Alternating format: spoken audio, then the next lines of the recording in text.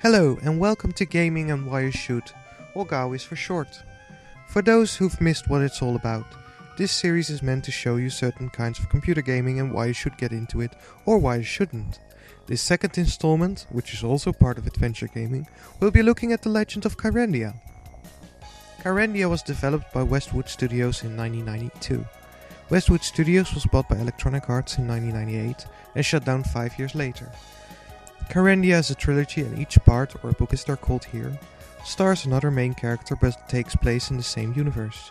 The subsequent games came out in 94 and 96, each with new additions. They are, in order, Book 1, Book 2 The Hand of Fate, and Book 3 Malcolm's Revenge. I'll be focusing mainly on Book 2 in this GAWYS. The Legend of Kyrandia is an adventure game, meaning the bulk of the content is item collection and puzzle solving. Each game also adds an element to that, which is different in each game. The Hand of Fate adds a potion brewing mechanic that helps you through the vital parts of the adventure. Now, why this game and why in the blazes am I focusing on part 2? Well, for new gamers I would advise you play 2 first. There will be some spoilers unfortunately, but the second game is not a continuation of the first game, while 1 and 3 are obviously sequels. Some of the same characters do star in all three games.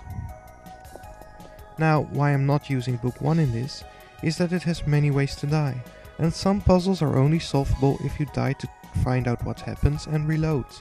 I don't recommend that kind of game mechanic to new gamers, as if you miss one save, you might have to redo a major part. Book 2 features a whole lot less deaths, and rarely becomes unsolvable, which Book 1 is rather guilty of. If you're experienced in these matters, by all means start with 1. Why the Legend of Kyrandia? It's abandonware and basically awesome.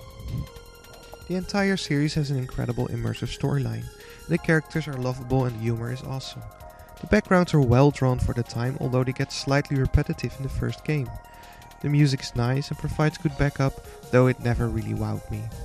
Book 2 focuses on Zanthia, a zazzy, in your face alchemist with an incredible amount of wardrobe changes. On to why you should play this. Its main draw are the stereotypical characters in a fantasy world and the quippy and funny exchanges.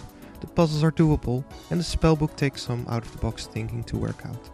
If you can't figure out why the description Windy Wolf requires you to put gnarly bark in the cauldron, you might be stumped at times. I do advise good record keeping because there's a recurring password in the game you acquire somewhere at the start, and it changes every game.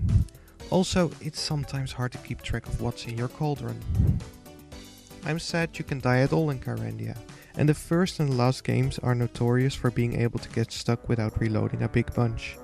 Just playing the second game does solve this for the major part. The game features some very minor implied nudity, and the foul language is present but rather obscured. It's meant for slightly older audiences who might even get the Three Stooges reference. The game is a no go if slightly crude humor and immersive storylines isn't enough to draw you in. Since all three games are abandonware, it's free to give it a go, and I suggest you really do so if you feel slightly drawn towards it. I'll put the link for all three games in the description. The games really do have a massive universe, and I suggest you download the manual to read the background as well. It's truly an adventure game, even if it's one of the lesser known ones. That's all I have to say for now, and once again I'm just left with I hope you enjoy and good gaming.